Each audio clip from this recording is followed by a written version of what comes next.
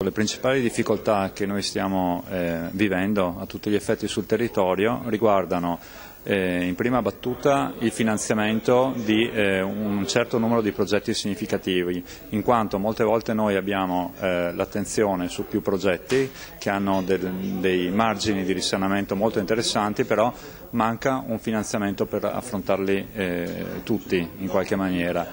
La seconda difficoltà eh, che va di pari passo è quella burocratica nel far capire all'amministrazione eh, qual è il principio di questo tipo di operazioni che eh, naturalmente ehm, sono un po' differenti rispetto a una gara d'appalto tradizionale e quindi eh, molte volte anche qui delle operazioni che sono sicuramente significative eh, vanno a morire o comunque vengono accantonate in favore di operazioni tradizionali e quindi esulano un po' da quella che è la nostra mission. Comunque noi ci crediamo e vogliamo risolvere.